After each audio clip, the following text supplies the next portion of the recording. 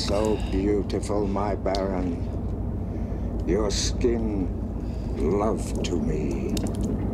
Your diseases, lovingly cared for, for all eternity. Hmm? I will have a Arrakis back for myself! He who controls the spice controls the universe. And what Peiter did not tell you is we have control of someone who is very close, very close to Duke Leto. This person, this traitor, will be worth more to us than ten legions of Sardaukar. And who is this traitor? I won't tell you who the traitor is or when we'll attack.